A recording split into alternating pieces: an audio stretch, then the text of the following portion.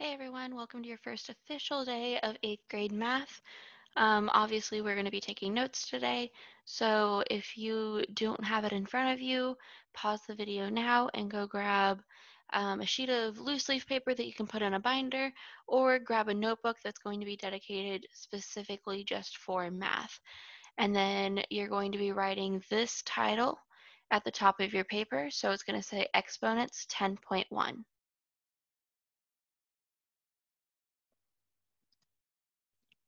So we have a few vocabulary words to look over. Um, the first word that we're going to talk about is power. Power is the product of repeated factors.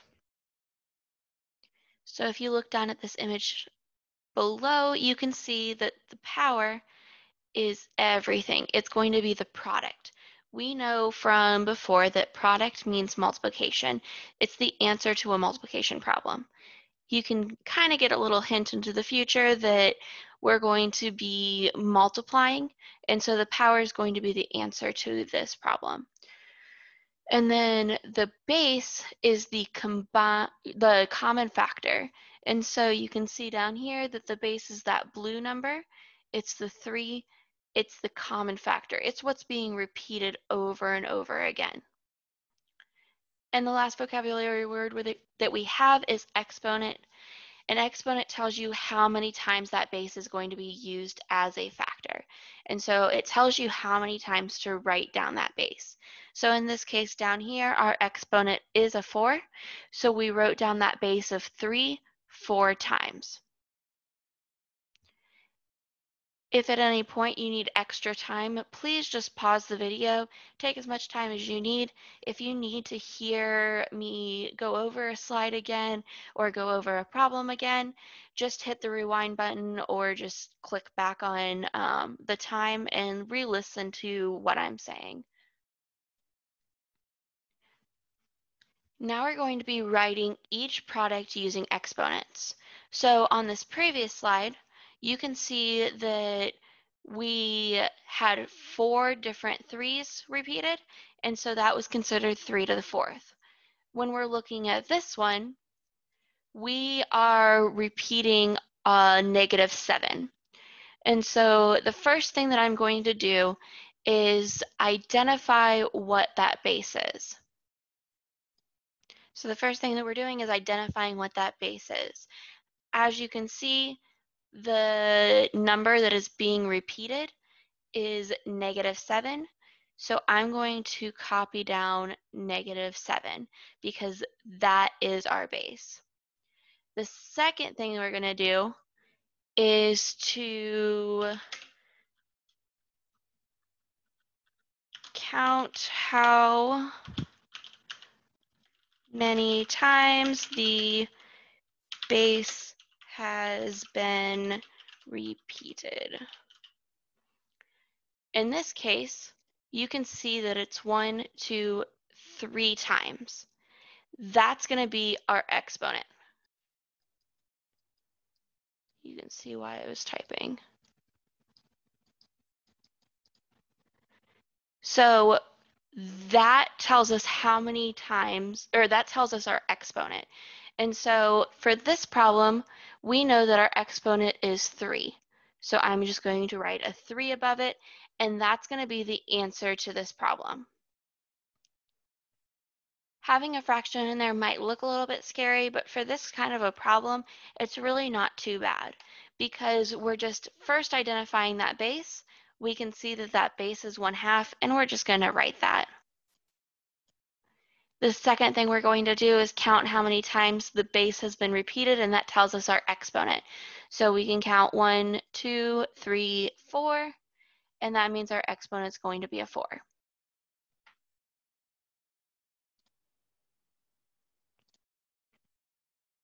Try these four problems on your own. You might notice that number 4 looks a little bit different, so try them out and I'm going to give you the answers in just a second. So pause the video now so you can try it. And here are your answers. So for number one, we've got 4 to the 6th, For number two, we have r to the second. For number three, we have negative 2 to the fifth. And for number four, we've got 3 to the second times pi to the second. If you notice, for each one of my answers, the base is in parentheses. That is super important for you to do, and we'll get to that in a second. For this fourth one, all you're going to do is separate it and then you're going to write the product of that side and write the product of that side and put them next to each other.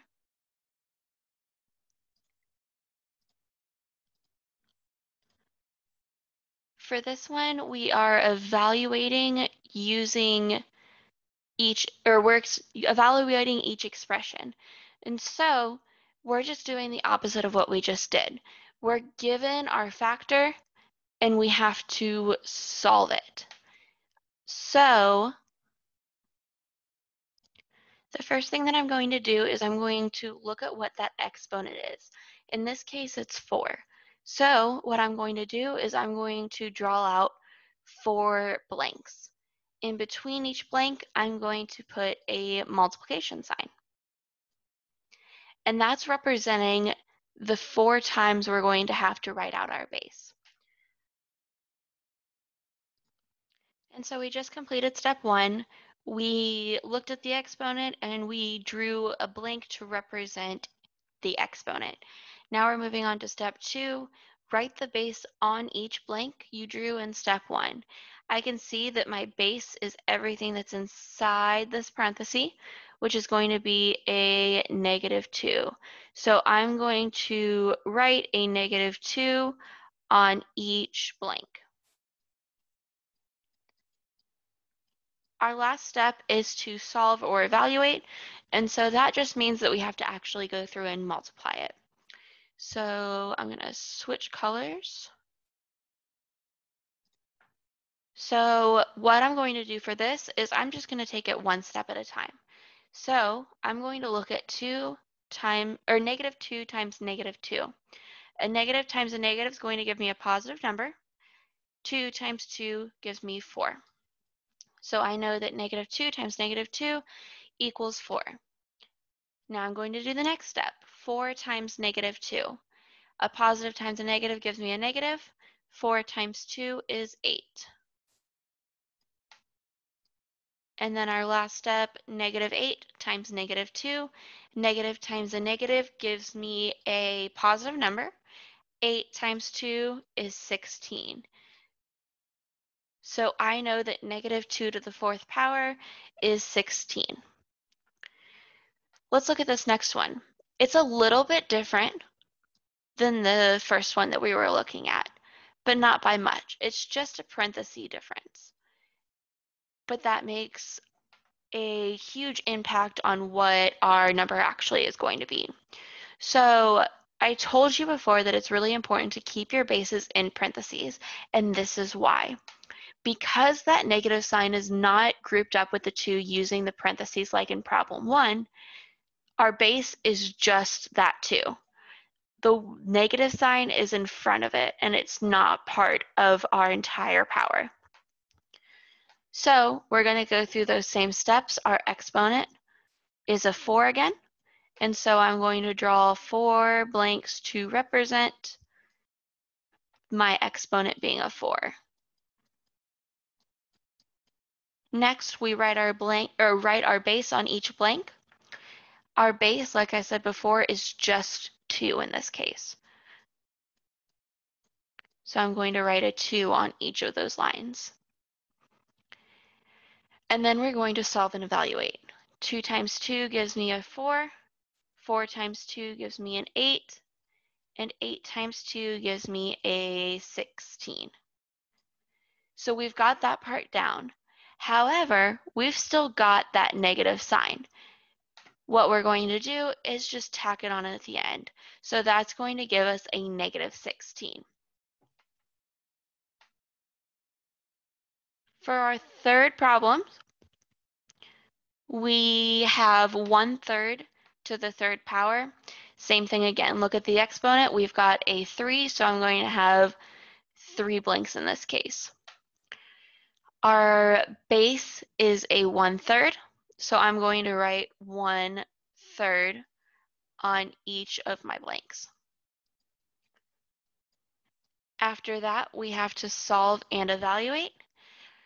If you remember from when you started doing fractions, we always multiply our fractions just straight across on the top and on the bottom.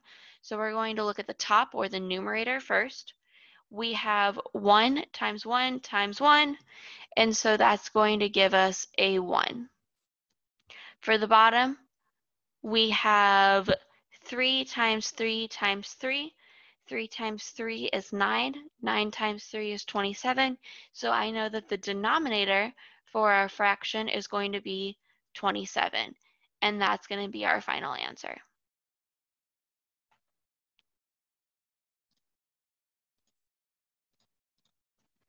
Now it's your turn. Solve these three problems and pause the screen. Again, I'll have the answers available for you to check.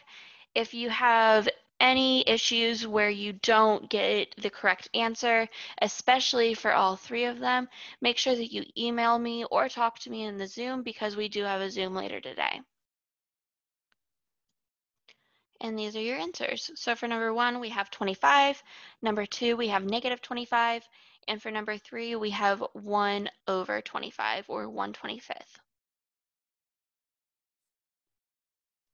The last thing that I need to talk about is order of operations. So the first thing that we're going to be looking for is grouping symbols. I know before you guys have used a lot of parentheses. Parentheses are included in grouping symbols, as you can see up there. But grouping symbols include a lot more than just parentheses. So I think it's really important that we think about all of the grouping symbols that are possible and not just parentheses. From there, it's the same thing. So we've got our exponents next, then multiplication or division from left to right, and then addition and subtraction from left to right.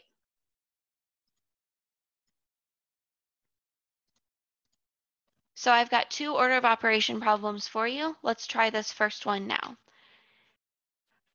What we're going to be looking for first is our grouping symbols. I see some parentheses here that is included in the grouping symbols, so that's what I'm going to solve first. So 3 plus 4 is going to give me a 7. So I'm going to write down my 7, and then I'm going to copy down that rest of the problem that we were given. Now that everything's solved within the parentheses or any other grouping symbols, we're going to move on to our second thing we're looking for, which is our exponents. I see an exponent up here, so I'm going to be solving 7 to the second. I know that 7 to the second means 7 times 7, which is going to give me 49. So I'm going to copy down 49 and I'm going to keep that in parentheses. And then I'm going to copy down the rest of the problem. The reason why I'm keeping it in parentheses is let's say that I just wrote down 49 and then I copied down the rest of the problem. That would say 249, which is not what I want. I wanted to say 2 times 49 because we know that when we have a number on the outside of the parentheses, we're going to technically use the distributive property to multiply um, from whatever's outside to whatever's inside. And that's what we're actually going to be doing next is multiplication and division from left to right. My multiplication is right here because the only other operation is subtraction. So I'm going to do 2 times 49, which is going to give me 98. Wow, that was a rough 9. And then I'm going to copy down the rest of the problem. Our last step is 127 minus 98. So we're going to solve that because our last step is addition or subtraction from left to right. And if you can't do this in your head, you can always use a calculator. I got 29 as our answer. And that's going to be it. Now I want you to try to solve this problem on your own. Remember to use the order of operations. pause the video now and I'll give you your answer in a second. And you should have gotten nine. You can look at my work up there, pause it if you need to. And here's your homework. So this is also listed on Canvas. So if you want to copy down the problems from Canvas, that's fine too. Make sure that you do this on a new sheet of paper. I don't want it right next to your notes. Um, this is in your textbook, so if you've got your hard textbook, you can always use that. Um, otherwise, use the textbook that is on your computer. If you've got any questions, you can ask me during our Zoom today, or you can send me an email. Either works.